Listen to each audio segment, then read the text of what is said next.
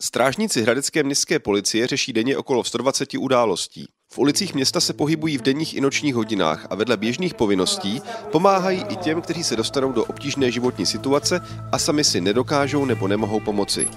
Řeší vyhrocené, nepřehledné, nebezpečné či zdraví a život ohrožující situace. K těmto událostem pak vyjíždí především strážníci výjezdové skupiny, kteří prioritně zajišťují linku 156.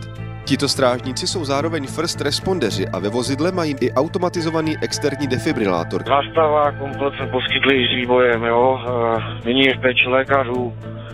Podařilo se. Jak vypadá běžný den výjezdové hlídky? Pojďte se s námi podívat. Je všední den dopoledne. V České republice platí povinnost mít na veřejných místech zakryté dýchací cesty. Hlídka již po druhé potkává stejného staršího muže, který tuto povinnost nerespektuje. Po prvním upozornění se na ulici znovu pohybuje bez nasazené roušky. Strážníky je tentokrát naposledy bez sankce upozorněn, že jeho chování dále tolerovat nebudou. Operační pracoviště mezi tím hlídku posílá do nedalekého domu, kde mají prověřit, zda je v pořádku seniorka, která se tři dny nehlásí své rodině. Na reportáž z tohoto zásahu se můžete podívat na YouTube kanálu města. Brzy přichází další hlášení a hlídka vyráží do Šimkových sadů. Mladá žena, která tu sportovala, zahlédla ve vodě nehybné lidské tělo. Na místě jsou už policisté, kteří případ vyšetřují, strážníci zajišťují okolí.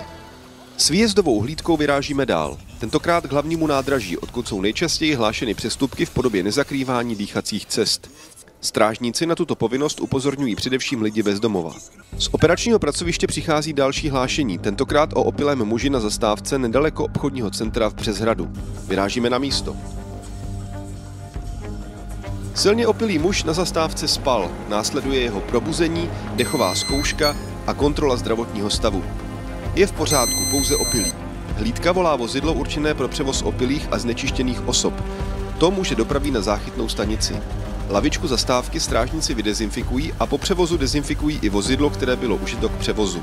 Během dne ještě reagují na oznámení o nálezu injekčních stříkaček, řeší dalšího opilého bezdomovce, jsou požádáni policií České republiky o součinnost při nahlášené potyčce několika osob, řeší stížnost narušení nočního klidu a kránu zjistí prasklé vodovodní potrubí u jednoho z radeckých domů. Ve dne v noci jsou tito strážníci připraveni vám pomoci. Volejte 156.